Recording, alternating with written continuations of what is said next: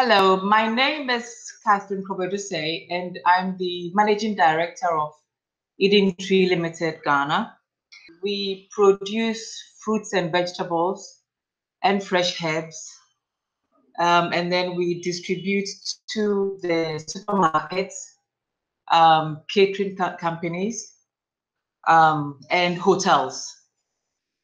Honestly, I must say that we have been somehow fortunate in the sense that when I look at the negative impact to um, other sectors, I realize that, okay, in comparison, we uh, are not in a bad place in the sense that we are in the food industry.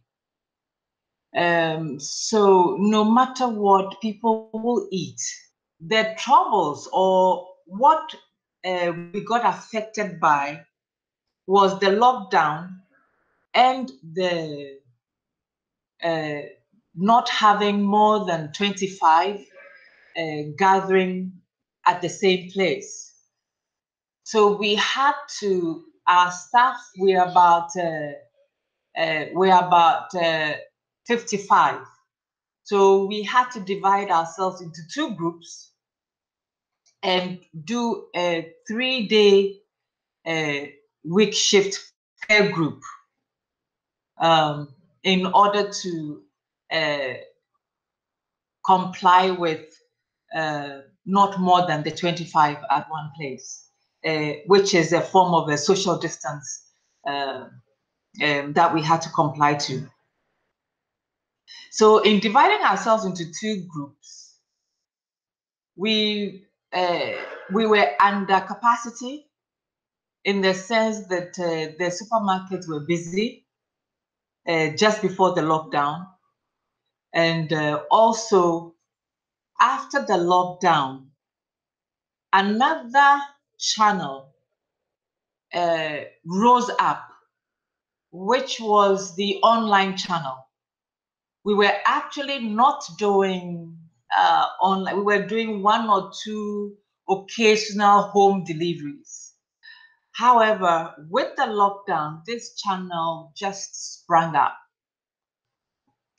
The other area that uh, was also problematic for us was transportation because there was a lockdown, um, staff found it very difficult to come to work in the sense that it took them a double effort to come to work because we had security personnel all over uh, the greater Accra area.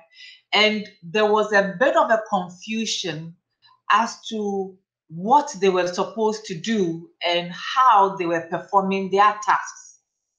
Uh, we've been in the food uh, business, uh, we were considered as one of the essentials, essential services. So uh, with our IDs, we were able to continue to work because we needed to provide food.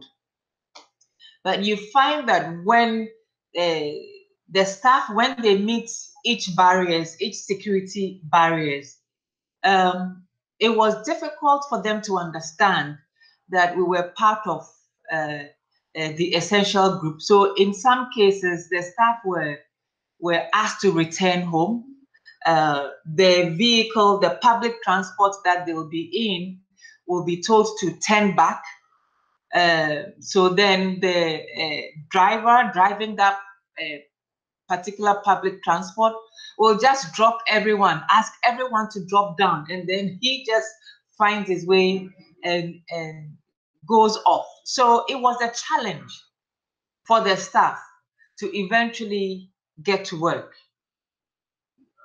Um, so that was a bit uh, of a problem. And then in having to work under capacity because of this transportation issue, we also had to quickly finish so that uh, because they will go through the same difficult process to get home. Um, so in this, we realized that what would be helpful for us in a situation like this going forward will be to have a staff bus that um, will uh, will create pickup points uh, where staff will group at and then they'll be picked up to work and then after work will be uh, taken back to the pickup points to make it uh, easier uh, for them to continue with their work. Um, another area uh, we find that we've incurred uh, a bit more cost on the PPPs. You know, we now have to ensure that um, whilst we are out, we have uh, each member of staff must have their sanitizers, their uh, face masks, uh, and these are all things that we have to provide for the staff. Um, uh, because we are in the food industry, we can't take um, any risks in uh, saying that, okay, individual staff should be responsible for those things. No, so we have to provide uh, every member of staff with Uh, those items.